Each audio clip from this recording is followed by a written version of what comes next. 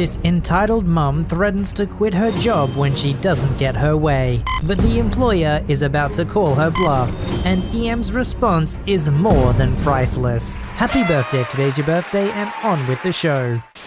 Okay, a little bit of backstory. My godfather moved in with us at the beginning of the pandemic, and this started shortly after. My godfather owns a small hair salon that his daughter works at. Important later. He tries to be fair and she usually ends up with the worst shifts, even though she just had a baby, because she has the least seniority, and my godfather lets the senior stylists pick their shifts to an extent. This is where the entitled mother comes in. She worked maybe 7 hours a week before the pandemic started, and it needed to be a specific day shift because she needed to be home taking care of her kids. She texted my godfather to ask for different hours once the salon opened again. I asked him to send me screenshots, but he just turned around and handed me a printed copy of the transcript because he had to type it up for the court anyway. This will be word for word except names, obviously, and I bleeped out cursing. Side note, at this point, my godfather's daughter was expecting to move across the country in May. Okay, so uncle equals godfather,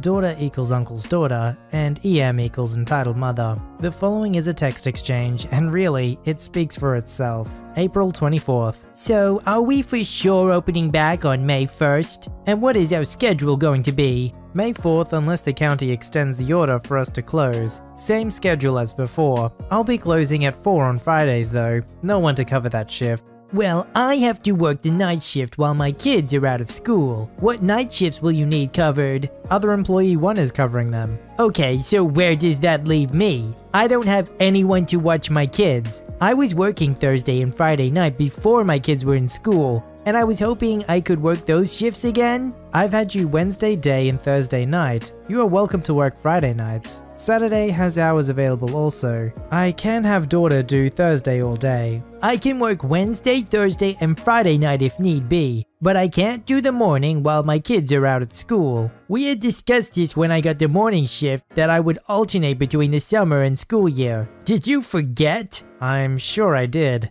Okay, so are you going to be able to work with me? Sure, 3 to 7 or 4 to 7. 4 to 7. April 25th. So I take it you gave other employee 2 her same schedule even though other employee 1 suggested you can now give her night shifts also. When the school year starts again, I will need to have mornings again, which you're now aware of, right? First of all, it is not your concern when and where other employee 2 is scheduled. I am done hearing about it. You are the most difficult to schedule, as you always need things changed. I have done my best to accommodate you. I just accommodated you again. And your concern in other employees 2 schedule? So you cannot work days and you're concerned that other employee 2 is? If I put employee 2 on nights, who covers the day? I cannot guarantee anything as far as moving around constantly, as business and employees constantly change. I am down to 4 employees, and it will be 3 by the end of May. Can you find me employees and inform me of what shifts you will allow them to work? I have enough stress in my life to keep worrying about my 7 hours a week employees' needs, and her concerns about everyone else's schedule on a constant basis. I will do what I can, when I can, and what works best for my business. Okay, First of all, Uncle, my only intentions of working for you is to help you and your business thrive. I don't give a frick about anyone else's schedule. But what I do care about is the fact that you let people that you don't give a crap about run the show and tell you how it's gonna be. Why is that my concern? Let me tell you why. Cause it affects my livelihood. When I give my employer the utmost respect and take care of my clients as well as being there for my kids, I deserve the same respect. So your 7 hour week employee that sells your products, doesn't milk your clock, who has your back, is worth more than that. I've always come through to help you when you're in need. And I mention other employee too, cause she does not. But you want to stick up for her and let her do whatever she wants, even at the expense of turning away business from your shop. I simply asked you what date we were going to open, because I already got clients hitting me up and have been the entire time. And all you have to say is other employee 1 is working those shifts. WTF. Okay, so apparently she's changed her schedule, which you're okay with. Need I say more? Then the fact you've always been a jerk to me, attempting to fire me, believing the lies of a freak when you yourself went to court dealing with the same thing, and saying that I'm constantly changing the schedule? No, I initially changed to help you guys, which of course you don't remember. I had already asked for it to change two times a year, but of course you forget about that too. You just said it yourself that things constantly change, right? Yeah, so you need to accept that fact and do what works for your employees. It doesn't take a genius to figure it out. You signed up for this drama-driven occupation, so deal. I was offering to work three nights instead of the two I normally work just to help you. And this is how you respond? Wow, you're the one that makes it complicated. You've never valued me. You just don't see a good thing when it's right in front of you. It's sad. By the way, FYI, you never did tell me what it is I'm working. That's how much you respect me. So what are you accommodating for me? Exactly what you asked for. So I take it you're giving other employee 2 her same schedule even though other employee 1 suggested you can now give her night shifts also? When the school year starts again, I will need to have mornings again, which you're now aware of, right? Where in this last text you sent me does it state any of the crap you just blew up at? All I see is it says what you stated. What about other employee too? Go back and start at the beginning of the convo. I guess I should just fire other employee too and have you work days to better my business. Oh darn, you can't and won't. I should fire her and be down to two employees. That would work, I guess. You and other employee 1 covering all the shifts. You can work every night if you'd like. I prefer two people per shift. Other employee 1 gave me one per shift by working the entire day. I had not talked to you yet to see if you'd like to be the second. I also knew you wanted days and not nights. First, when I told you what I needed and then asked you what nights do you need covered, you said other employee 1 is covering them. Them meaning all the nights. Then you said daughter will work all day Thursday, which means the night I always work.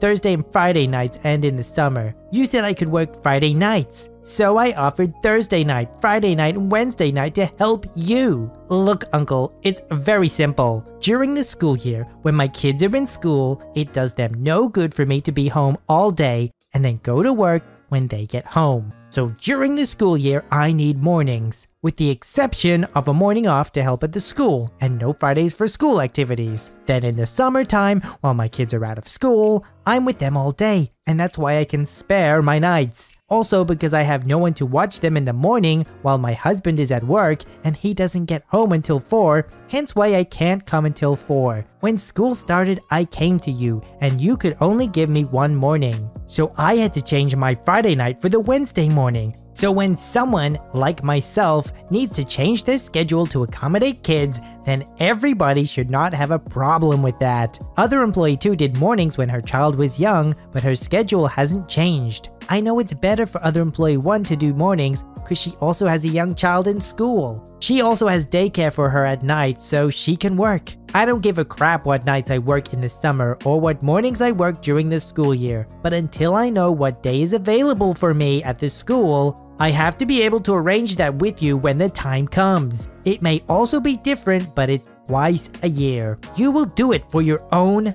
daughter. Schedules change and always will. If I didn't have kids, I would be your puppet. Do you not understand that? Give me an all day in the summer if you need. I don't freaking care. Does it make sense to you yet? I understand why you do what you do. Just because you have changing needs does not mean I need to rearrange my business. No, I do not make exceptions for my daughter. I make her take the remaining shifts and she has a newborn. She did not and does not tell me when she can and can't work. I do my best to work around what she needs, but it does not change in most cases. You think everyone needs to move around to accommodate your few hours when they work four times more hours than you. If I can accommodate you, I have and will. It is not summer, so I did not know you were changing already. I do not have kids. So I do not pay attention to those things. I had you at your regular schedule you had been on. I know you did not want to work nights, so other employee 1 offered. I took her up on it. I had two other thoughts also. Will there be enough business to maintain the same hours we had prior to the virus? Or do I not need a second person for each shift? So I am not exactly sure what is the best plan. So that is why I told you, other employee 1, had it covered. How would I know you needed to switch earlier than normal and now needed nights? Then you tell me you need nights, and then complain other employee 2 has days, hence my frustration. Let alone trying to manage all of this. Find a way to pay all the bills for the salon with zero income coming in, finalizing a divorce, trying to find a new place to live, trying to get state and federal help so I can stay afloat, losing 90% of my personal income, and doing it all while having emergency back surgery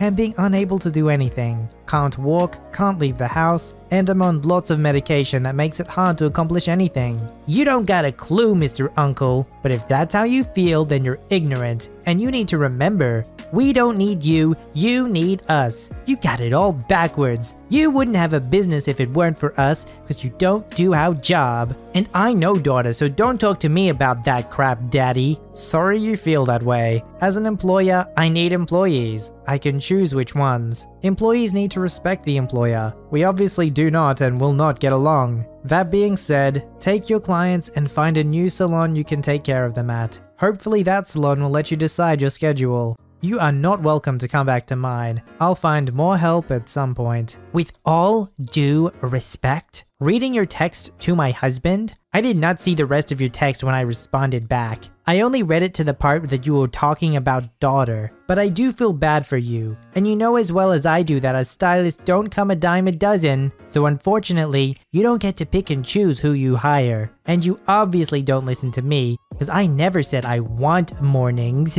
I prefer nights. But I have to do what's best for my kids. And because of the virus, the summer is here, and the kids are done with school for the year, so duh, I wasn't planning on changing my schedule this early either. I'm very easy to get along with, and I'm a devoted, valuable worker who is great with the customers, and I'm good at what I do. If you're already struggling now, then you will continue to struggle because of this epidemic. So if you feel the need to not have me work for you and help you, then peace emoji. And I don't have to work for anybody, because I have a salon in my house. And believe me, a lot of my clients will gladly follow. Now is probably not the time to make rash decisions, since you're all doped up so talk to me when you're better. I am perfectly alert at the moment. Best of luck at your home salon. You're a good stylist. I know you will do fine. I don't have to work. I was only doing it for the people and you. So if that's the way you want it, then you're making a bad decision. How dare you treat me this way? You're so freaking unappreciative. Best of luck owning a salon. You're a phony and lied about not wanting to change what former owner had. You're heartless when I was always good to you. You'll be frowned upon by a lot of people in the community. April 28th. Good morning, Uncle. Please give me another chance. I'm so sorry for the other day. Someone came and took my body, hijacked it from me. It wasn't my intention to act like that. I'm sorry. Please forgive me. I promise I won't say another word about anything ever again.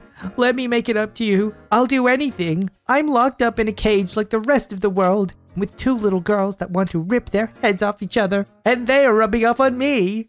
Please, I'm begging you to give me another chance. I'm on my knees. Please, please, please. Praying hands emoji. Just one more chance. I'm sorry, crying emoji. I'm in a really good mood today. Please let that continue. Please don't say no, crying emoji. April 30th. Have you given any thoughts to my plea? End text. But wait, there's more. The lady filed for unemployment, and obviously Uncle turned it down. She took him to court. I was at work, so sadly I didn't get to hear the session. But my partner was home and Uncle had them on speaker, so we got to hear the whole thing. Apparently she spent the whole time crying, and the judge had to tell her to shut up several times. I'm sure the audio is in the Utah Public Record somewhere, or the transcript at the very least. I'm not sure how to access it though. They ruled in favor of Uncle, clearly. Oh man, you just knew that whole time that she was faking it? She was way too aggressive. You could just sense there was some sort of insecurity there. Psst, I don't need you. I've got my own home salon, blah blah blah. Okay, if that was the case, then uh, why are you even working there? Apparently you're just doing it out of the kindness of your heart? Yes, most working conditions suck because work itself sucks. Everyone has to do it to survive. But here's the thing that this entitled parent doesn't understand. When you're working at a job, it's your job to serve others. That's why the boss will try and accommodate you as much as he can, but he's not actually in control of it either. His job is to serve the customers. If the boss set the schedule based on the worker's needs rather than the customer's needs, it's not going to survive as a business. So what's hidden beneath it that she really won't admit is the fact that she doesn't want to serve others' needs, she wants others to serve her needs. That's the whole premise for our society. You sacrifice when you do your job and you work, and then you get served when you're the customer. Submit your story to be read on the channel at voiceyherestories at gmail.com and join our Voicey veteran community at r slash voiceyhere. Don't forget to like, subscribe, and hit that bell to never miss an episode. Alright Voicey veterans, I'll see you in the next one.